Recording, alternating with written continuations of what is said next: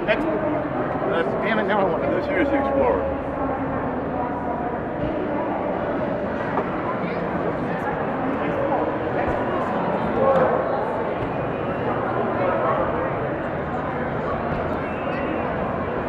How you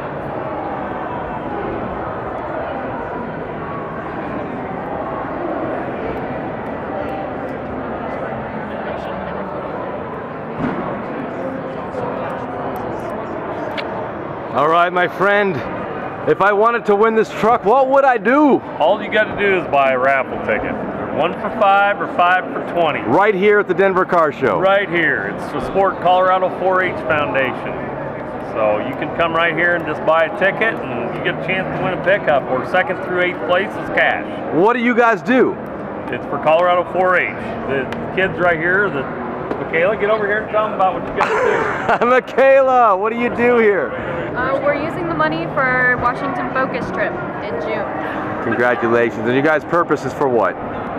For 4-H. so everyone, come to the Denver Auto Show, buy a raffle ticket, and have your chance at this F-150.